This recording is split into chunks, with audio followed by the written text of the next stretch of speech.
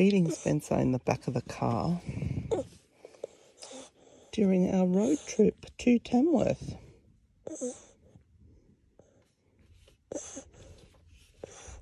Such a pain because these car seats here. If his car seat wasn't here, we'd have so much more room in the back seat. But obviously, if we've got a baby, we need your car seat. Zoe. Zoe. He was so thirsty though. He's having a really good drink.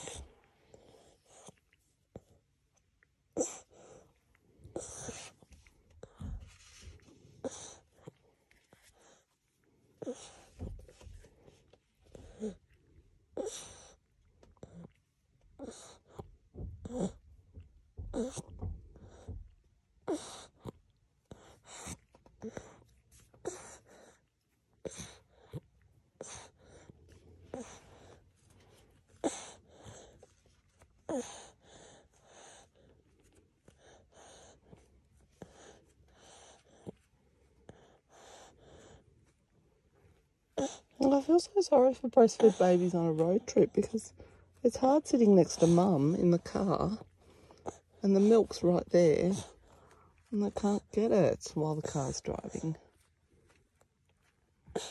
Oh no, it's not fair, is it?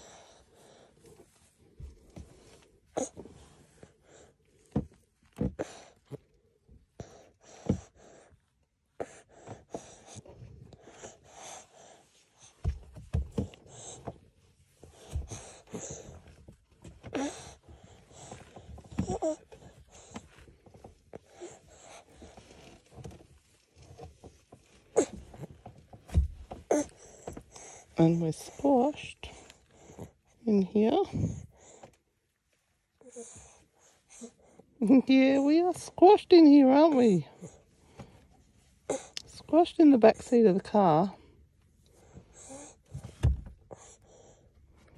But look, this is actually a really good option though to feed in the back seat of the car because I think this is still more comfortable than the bench out there.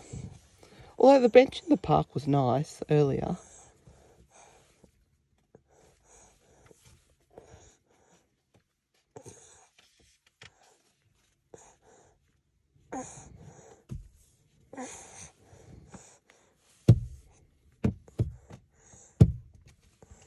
He's kicking the window.